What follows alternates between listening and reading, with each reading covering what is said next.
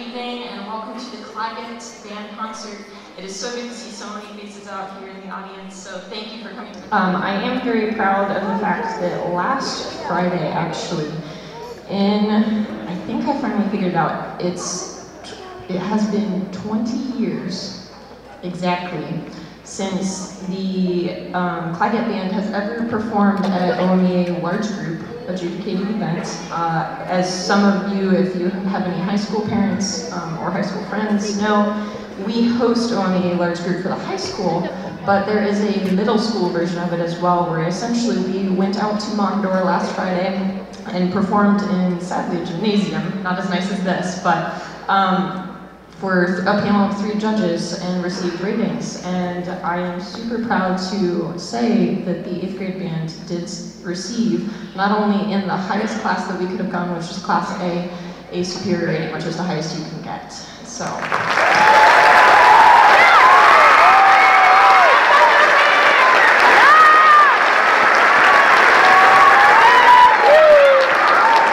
like I said, They just kind of continue to amaze me. So we're going to go ahead here and kick off our portion of the concert with a song called Blazing Bones. And for any of you Western fans, you will very much enjoy this piece.